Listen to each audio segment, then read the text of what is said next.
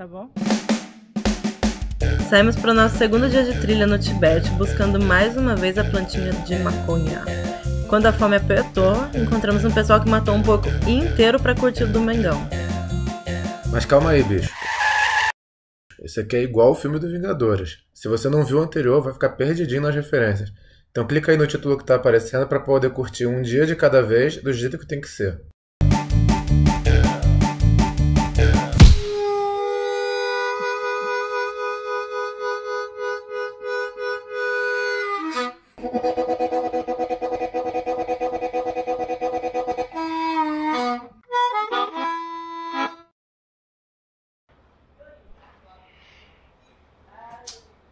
Aí, gente, preparados para o segundo dia de trilha?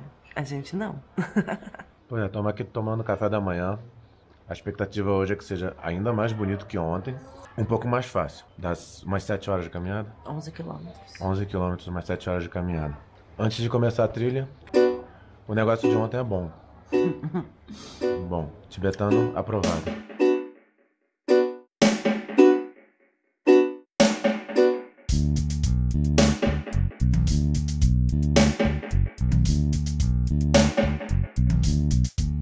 Então, a gente ia sair do hostel, da guest house, né? A gente tava saindo pro lado errado, eles falaram, não, não, é por aqui. Aí eles trouxeram a gente pro comecinho da trilha. E agora tem que acompanhar as setinhas que eles falaram. E esse é o visual do começo da trilha. Nós estamos começando às 8h45 e vamos ver quanto tempo a gente vai demorar para chegar lá.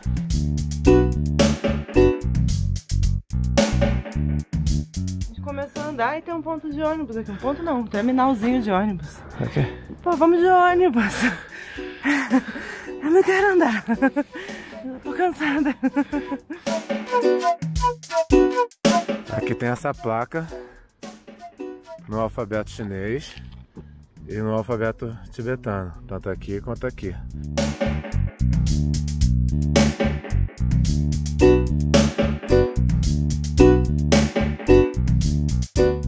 Pode faltar as traduções ótimas do chinês para o inglês. Eu não consegui entender o significado daquilo. Nem ideia. A gente está começando agora a subida que se chama 28 curvas. É a segunda pior parte da trilha toda. A primeira foi ontem. A gente está no comecinho ainda, mas pelo menos não tá aquele sol desgraçado que tava ontem, que a gente tava quase morrendo de sol e poeira na cara. Aqui tá mais tranquilo. E o caminhozinho é pavimentado, né? Molezinha. Molezinha. Mole, mole não tá não. Tá um pouco difícil porque a gente acabou de tomar café, estamos de barriga cheia e o banheiro do, do da guest house era aquela fazer no chão assim. Então, bem, não deu. Não deu pra fazer a limpeza total aqui. Não. Ainda não. Deve. A gente deu uma pausinha aqui agora pra tirar todo o aparato de frio. Porque o sol tá vindo já. E porque já tá difícil, a gente já tá suando e tudo mais. Aí não tá gostoso. Não tem nem 20 minutos que a gente tá subindo. E, nossa, a gente já subiu bastante. Muito. Não sei quantas curvas foram, mas foram muitos metros já. E agora a gente vai subir essa montanha aí. Ai, meu Deus. Não sei pra onde, não sei se lá pra cima, não sei se pra lá. O pior é que até agora não teve nenhuma plaquinha indicando que começou a bendita 28 curvas. Então a gente não tem certeza se essa curva aqui é a 5, a 12, nem começou ainda, a gente não sabe nada. Desde ontem, por algum motivo, a gente está com vontade de ouvir Sandy Júnior. Não ter nada, quer que eu fosse. Não ter minha vida sem você. Não ter qualquer razão que eu pudesse te reconquistar. Tem uma música de... Não, Claudinho Bochecha é outra. Mas é da mesma época. Agora eu já fui pra Claudinho Bochecha. Assim a gente vai subindo.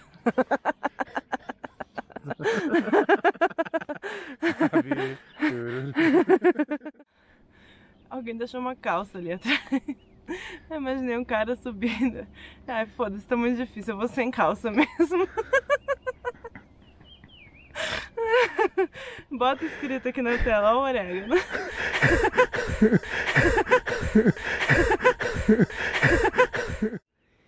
Tinha três russos lá na nossa guest house que iam voltar de, de carro, que dá pra pegar um carro de qualquer dessas vilas no meio da trilha e voltar pra cidade de boa, né? E a gente tá vendo três pessoazinhas lá embaixo. Não vai dar pra ver aí. E eles estão, tipo, não estão fazendo a trilha de fato. Eles estão meio que entrando no mato, assim. O que será que eles estão procurando? que, que, será, será? Existem rumores aí que depois de uma hora andando a gente chegou nas 28 curvas de fato. Mas existe uma outra corrente de pensamento positivista, não, posi, positiva, otimista, uma corrente otimista de pensamento que diz que a gente já está no final. A minha corrente diz que a gente está no meio. Caramba, tem uma. É a corrente de pensamento científica, que tem um mapa. Ou tecnológica. Tecnocrática. Tecnológica. Tecnológica. Qual vai ser o seu título acadêmico? Cientista. Uh. Ó, a gente tá aqui. E aqui pra frente, ó. É difícil contar, porque não sei, tipo, quantas curvas contar nessas, nesses casos assim. Mas eu contei mais de 20, então talvez seja aqui mesmo o começo. Peraí que eu vou contar uma história engraçada. Eu tava pesquisando sobre a trilha. Aí eu li um blog. O cara começou mesmo lugar que a gente começou ontem. Aí ele fala, nossa, é bem difícil assim, o começo. Mas aí você vai andando, andando, andando, andando. E sobe, sobe, sobe, sobe. A galera fala de matar 28 curvas. Mas eu nem percebi que eu tava subindo 28 curvas. Essa parte pelo menos foi fácil. E aí eu passei a noite na Nash Family Guest House e voltei no dia seguinte. Ou seja, ele terminou. Ele fez só o que a gente fez ontem e acha que foi até lá na frente e voltou para trás. E o cara tem um blog de viagem.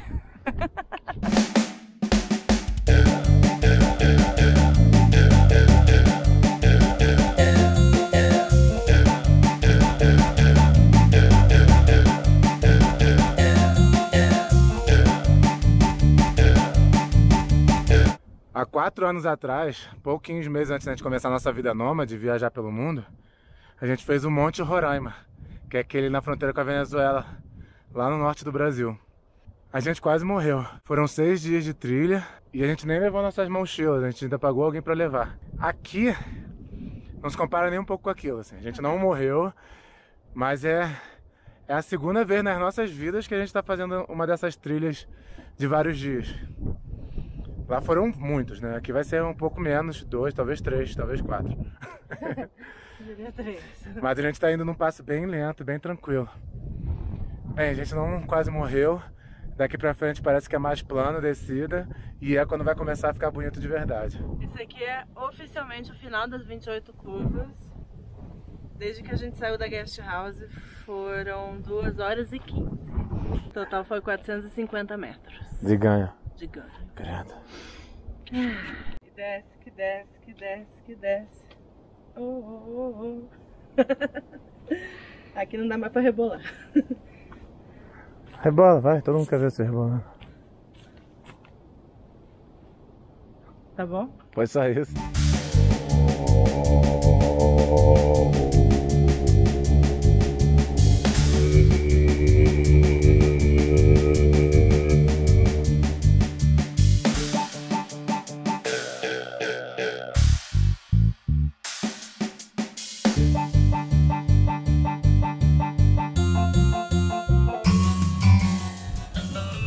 Aqui embaixo tem uma grade, porque aqui é uma zona de deslizamento.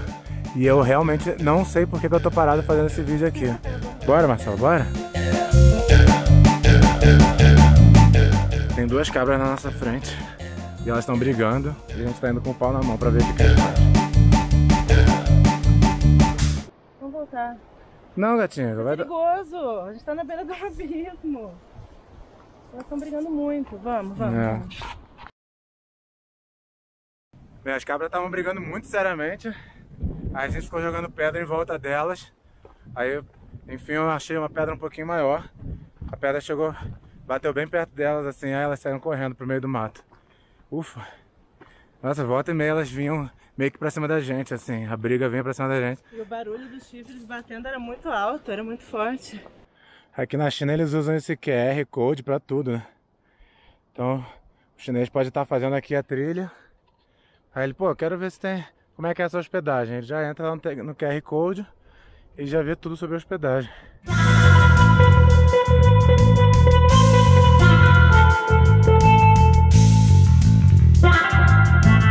É engraçado que a gente está procurando a bendita verdinha, né?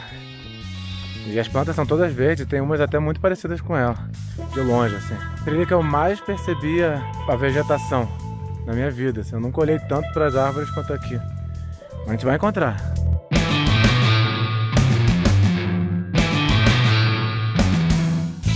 A ideia inicial na trilha é chegar até essa guest house aqui, ó, halfway.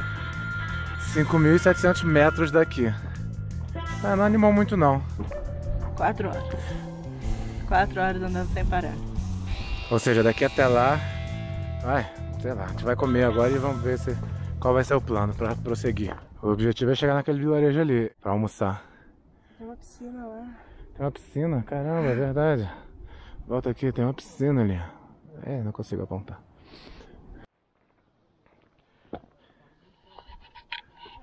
Pronto, antes. Deu o quê? Deu uma hora agora. Uma hora da tarde? Uhum. Então tem 4 horas e 15 que a gente tá andando. Uhum. E a gente acabou de chegar no vilarejo aqui.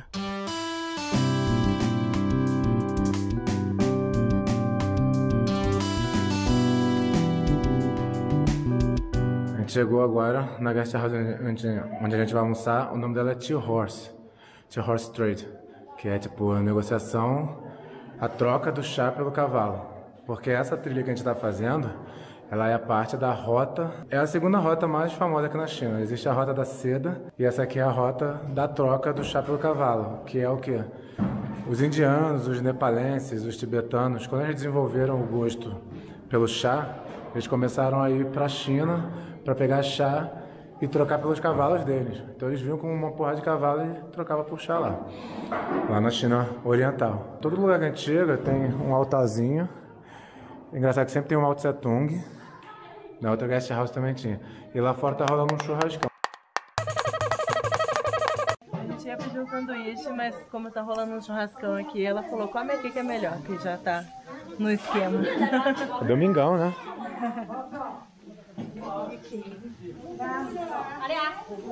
Churrascão de domingo, o cheiro tá ótimo.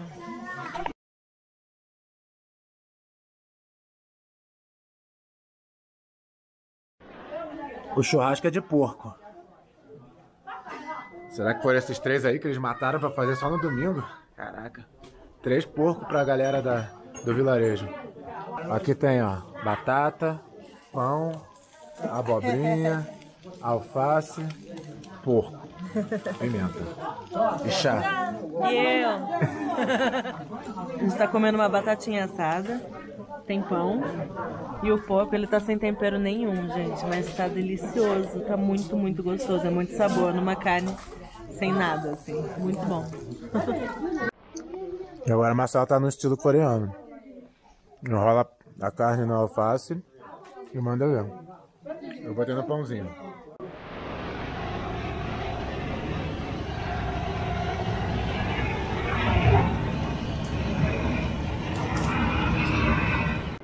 Gente, a gente tá lotado aqui de comida. A gente comeu pra cacete esse porco. E a gente tá com a desconfiança de que essa mulher daqui, quando os viajantes chegam. Ela é esperta. Ela é muito esperta. Quando os viajantes chegam, você chega cedo assim, porque a gente não tem tempo pra chegar ainda no, na, na outra guest house. Eu acho que ela enche a gente de comida pra gente não conseguir mais andar. A gente não quer mais andar, a gente vai ficar aqui, vai dormir aqui hoje. Sem brincadeira, gente. Faz oito meses que a gente saiu do Brasil. E essa foi a melhor refeição desde então. Tá muito gostoso esse churrasquinho. E, bom, tem muita gente que faz a trilha em um dia, tem gente que faz em dois. Pouca gente faz em três, a gente não viu ninguém fazendo em quatro. A gente pode lançar essa ideia, né? Mas é que a gente tá num lugar tão lindo e a gente tem aí um negócio para o nosso entretenimento.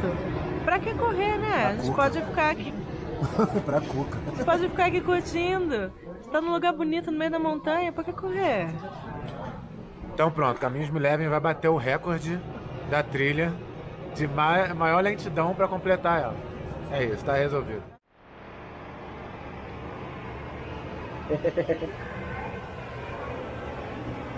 Agora ela tá lavando o porco aqui e ela já tirou as orelhinhas lá, tá vendo? O que que ela vai fazer eu ainda não sei, a gente vai tentar descobrir.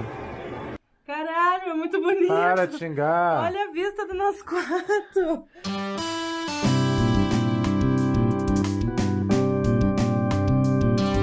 Olha a vistona do quarto. Pagou quanto? 91 pra nós dois nesse quarto aqui. Mas eles também têm quarto com banheiro privado, cama de casal.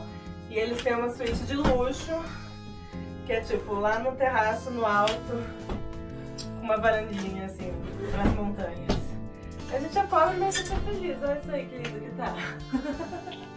Uma coisa também que convenceu a gente a ficar é que a gente chegou lá embaixo, a moça fala um pouquinho de inglês, deu pra entender mais ou menos. Mas esse churrasco é um evento anual da família dela, de alguma coisa de reunir a família dela, que a gente não conseguiu compreender de fato. E aí o churrasco foi de graça pra gente, porque isso, eles mataram, pô, três porcos, talvez mais, não sei. E tem carne pra cacete, assim. Então, pra quê? Dá carne pros gringos, né? Deram carne pra gente. E de noite eles vão assar aquela cabeça e as orelhas e sei lá mais o que, que sobrou da, da carne do- do- dos bichos, não sei. Quando a gente entrou aqui na cidade tinha nego lavando tripa, não, s- não- sei o que vai vir por aí. Fiquem ligados que vai ter coisa louca aí acontecendo. Fiquem ligados. Esse aqui é o terraço aqui da guest house. Se não tivesse tanto frio, eu acho que eu dormiria aqui, porque imagina o céu estrelado. E olha essas montanhas.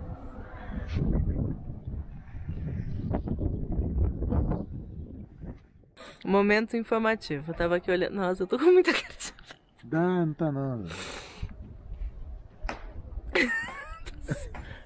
Momento informativo aqui. Tava olhando meu aplicativo de mapa. A gente tá numa altitude de 2.300 2.300 metros em relação ao nível do mar. E aquela montanha ali, o pico mais alto, ali, ele tá a 4.800. Caramba, imagina subir ali. Bora.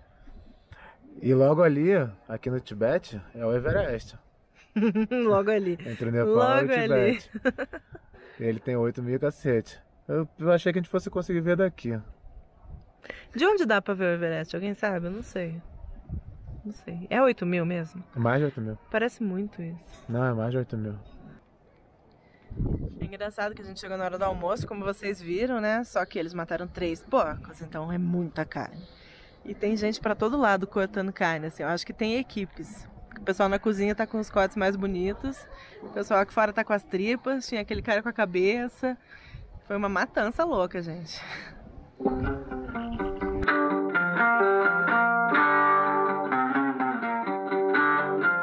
Nosso chaveiro é igual os cabritinhos da trilha, ó. O sininho.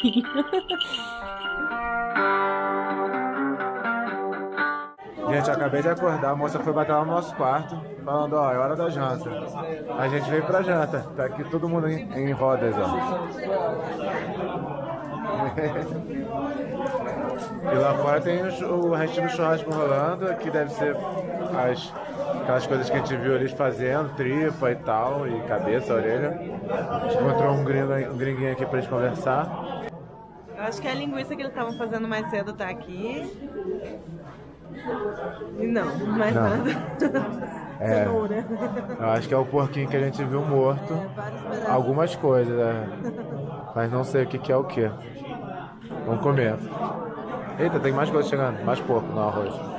Bicho, comemos tudo do porco. Sério, assim, não, é possível que tenha sobrado alguma coisa. Porque E o pessoal aqui da pousada não para de trazer comida, assim. Eles- a gente tem uma bacia de arroz. Quando alguém pega uma colher, eles vêm e botam mais. A carne, alguém come um pedaço da carne, eles vêm e colocam cinco, assim. Tipo, a gente já tá comendo há mó tempão e os potinhos estão todos cheios. Eles não param de trazer comida. E Ai, você não para de comer. porque tem que acabar com tudo. Senão eles não vão parar de botar comida. Sei lá. Jesus. Não faz sentido isso, mas é. É assim que funciona, tem que comer tudo. E cada coisa tem um tempero muito, muito específico. E eles nem combinam tanto entre si. Mas é gostoso, assim. Tem tempero baseado em gengibre, tem uns que parecem cheiro de sazon, assim, mas é o mais gostoso, mais orgânico, sei lá. Natural. Natural. E é engraçado que o, o lugar aqui tá cheio. Parece ser a reunião de família deles ainda. E botaram a gente numa mesa com um monte de chinês. Porque acho que eles são hóspedes também. Então, tipo, os hóspedes juntos, foda-se de onde vocês são. Eu tava lá conversando com o alemão no jantar. E ele falou que antes disso ele tava em Dali, a cidade anterior. Então, se você não viu o vídeo, vê lá que é uma cidade linda, uma gracinha, com montanha também. E ele tava no alto de uma dessas montanhas, em um templo, aprendendo Kung Fu durante um mês. Num templo, na Isso montanha. mesmo, isso mesmo. Tipo Kung Fu Panda, é, isso mesmo. Alguém me explica como, de onde essas pessoas surgem? Eu pensei que elas não existissem. A gente terminou de comer aquele banquete que a gente não aguentava mais. Aí ela falou: volta daqui a pouco, porque tem mais churrasco. Então a gente vai preparar nossas barriguinhas aqui pra ter mais espaço pra mais porco. Se vocês sabem como, imagino. Pra aqueles que ainda não suspeitaram, a gente vai usar agora aquele velho recurso cinematográfico pra vocês saberem o que a gente tá fazendo. Solta o reggae.